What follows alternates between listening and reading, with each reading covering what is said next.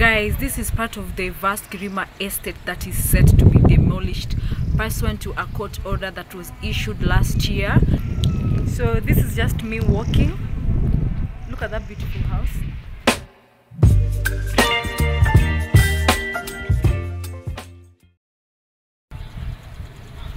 Guys, this is part of the vast Kirima estate that is set to be demolished pursuant to a court order that was issued last year, late last year actually, sometimes in October, I think. If you are in Kenya and you like keeping tabs with the current affairs, you definitely know about the case of uh, the case involving the administrators of Kirima and the people who've built on this parcel of land. The case has really dragged in court, but finally it was concluded last year and the court ordered all these people to vacate and all these properties are set to be demolished unless the purchasers negotiate with the administrators of the estate of Kirima. Guys, what would you do if it were you? What would you do? Can you imagine all these properties are gonna go down anytime soon? Guys, I've built very beautiful home. Look at that mansion, the white mansion. Look at that, guys. And all these houses are permanent houses. People invested time, people invested money in building all this, but unfortunately, pursuant to a court order, all this is gonna go down. And that brings me to the question, what do you do when you're buying land? Are you the type of a buyer who buys land based on trust? Or are you the diligent buyer who engages professionals such as lawyers, surveyors, planners while buying land? Let me know in the comment section guys. So I want to walk you around this vast estate. Of course I can't finish I can't finish this video or I can't finish the whole I can't I can't walk of course I can't walk through the entire land because it is so big it is vast. It stretches from as far as I think Kayole or something next to I think near uh, Kayole junction all the way to Njiru all the way to Choka guys. Choka is on the other side. Right now where you're watching me from this is Njiru. This is Njiru and this is the part whereby the land of Kirima stretches. Look at all this. It's a very vast estate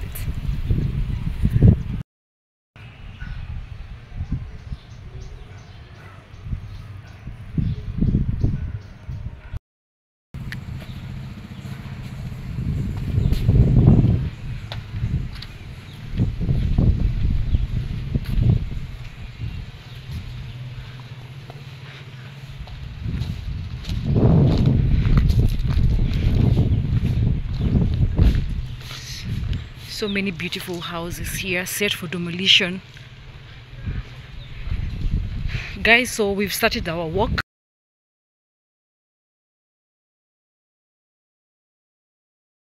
Look at all these guys. All these are set to be demolished guys pursuant to that court order that reverted this land back to the estate of Kirima. Woe unto all these people who bought land who bought this land without following the due process. Guys let me just advise you. If you intend to buy property in Kenya kindly involve a lawyer. I know lawyers are expensive but they are worth it. Lawyers are capable of establishing any mischief that might be in a title don't buy property based on trust guys. Look at all this investment guys. Some people are even still constructing. I don't know whether now this person has to stop construction. I don't know. Mm -hmm.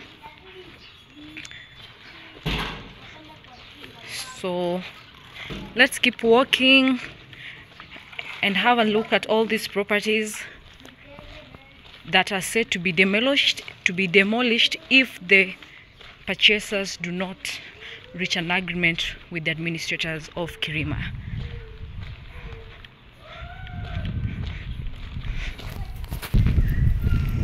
So this is just me walking. Look at that beautiful house.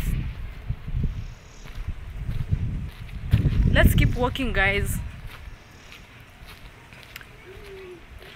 Have you ever experienced something of this sort, or do you have any relative who stays in Njiru or Choka area that has been affected by this court order? Please let me know in the comment section.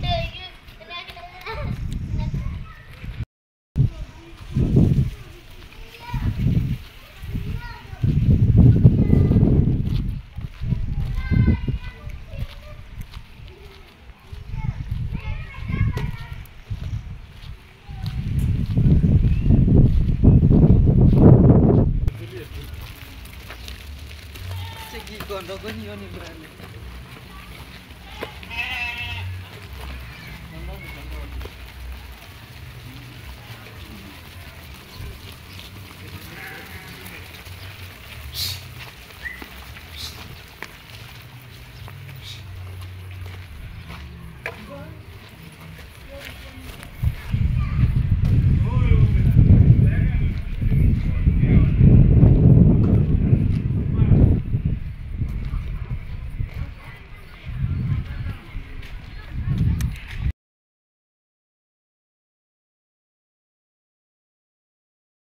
Know most of these guys who've built permanent homes have children whom they've raised here and they've been living here for the longest time. But unfortunately, the law is on us, it cuts across. So, law doesn't, the court doesn't work with emotions. As long as someone is able to prove that the procedures, certain procedures were not followed, then the court will have no other option but to cancel the titles.